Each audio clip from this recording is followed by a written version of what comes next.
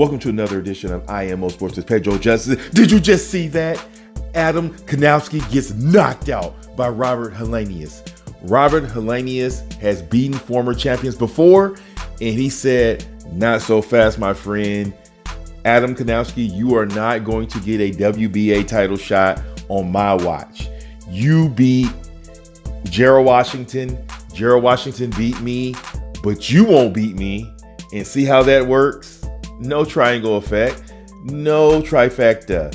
Adam Kownacki's wife could not believe it. She knew the first knockdown was an actual knockdown and not a slip. So guess what he did?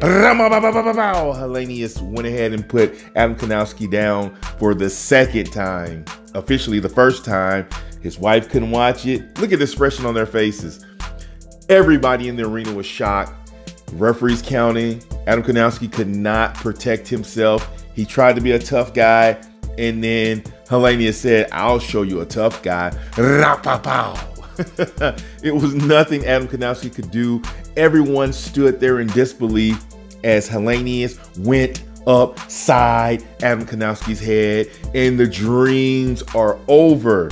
He's got beat up, he got knocked out, and his hopes for a title shot just went down the drain. You hate to see that in a young fighter, but these are the times that test your mettle and who you really are. Congratulations to Robert Helenius for coming in here as a true Nordic warrior and defeating Adam Kownacki by knockout.